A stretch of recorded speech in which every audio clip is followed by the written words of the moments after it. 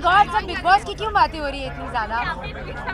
हाँ बिल्कुल काम्या पंजाबी और बिग बॉस ना फॉलो करो ऐसे कैसे हो सकता है? तो हाँ मैं फॉलो कर रही हूँ और अब आप चाहेंगे कि मैं कुछ कहूँ। मैं ये कहूँगी मैं सिर्फ़ विकास गुप्ता से ये कहना चाहती हूँ कि विकास गुप्ता शराफत की भाषा हर कोई नहीं समझता। तो इट्स टाइम कि आप भी गेम खेलना शुरू करिए और और and give a back Shilpa Shinde को उसकी ही भाषा में आप जवाब दें। शायद बेहतर होगा, क्योंकि वो जो कर रही है, वो एंटरटेनमेंट तो बिल्कुल नहीं है। वो गंदगी है। वो गंदगी है।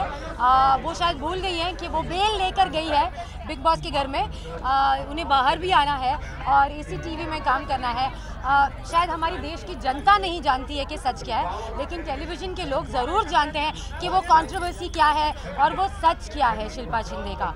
सो वो जो टारगेट कर रही है विकास गुप्ता को वो एटलीस्ट टीवी के लोग जानते हैं कि वो गलत कर रही है और वहाँ पर शिल्पा कितनी गलत है। सो ये एंटरटेनमेंट नहीं है फॉर श्योर मौका मिलता रहता है वापस शो में जाने का और क्लास लगाने का।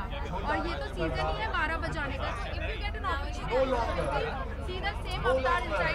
आ, अगर अगर घर वालों के साथ इंटरेक्शन हुआ जैसे कि मैं हर साल जाती हूँ अगर वैसे बुलाया गया तो मैं डेफिनेटली जाऊँगी।